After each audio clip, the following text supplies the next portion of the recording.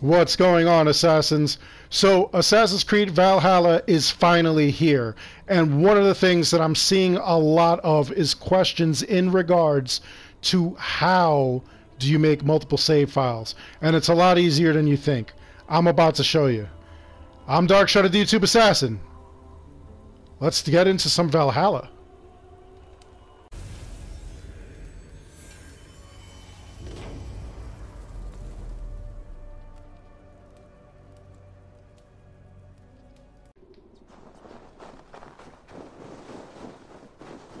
Okay, so like I said, especially with like big families or even brothers, siblings, brother and sister, whoever you are, and you want to actually make multiple save files, or even if you're just like me, a YouTuber who has to have a bunch of saves just so they could go back and check some stuff out.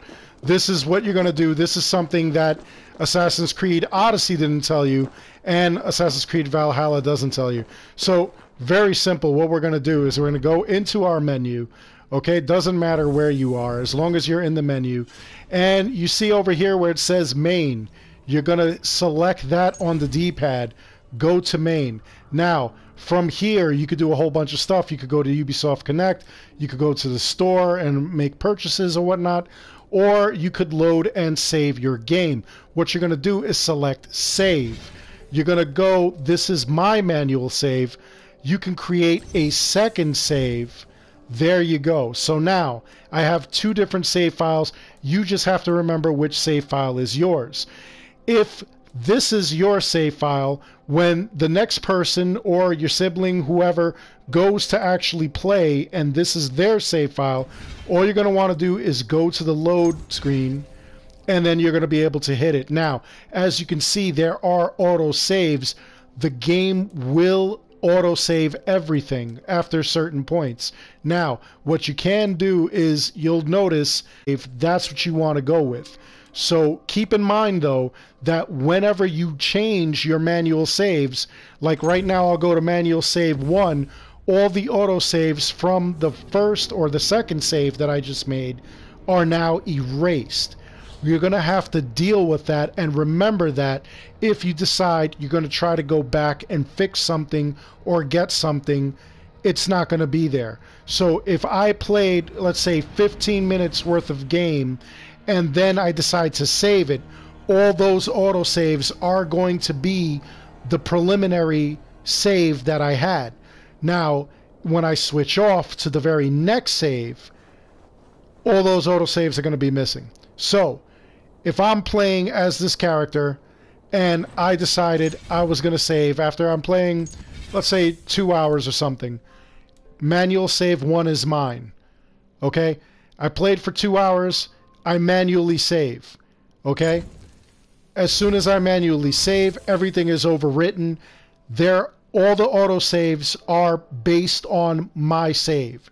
Now, I let my son go and load his save. He's manual save 2.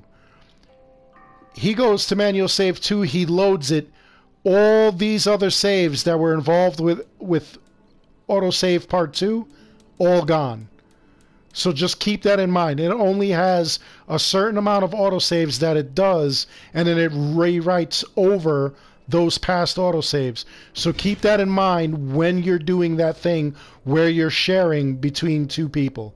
All right, you definitely want to make sure that you keep an eye on which save you're actually saving to and which save you're actually loading. You don't want to have this as your save and accidentally overwrite someone else's save. And the same thing with when you're doing different things.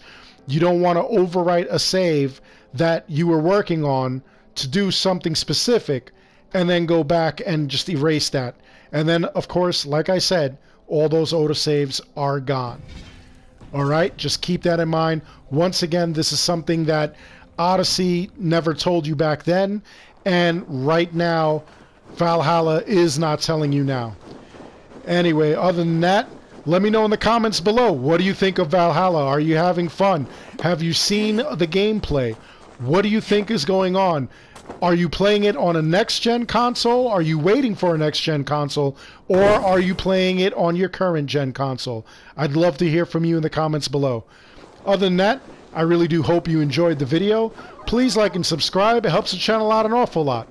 As always, I want to thank each and every one of you for watching. And until the next one, take care. Huh?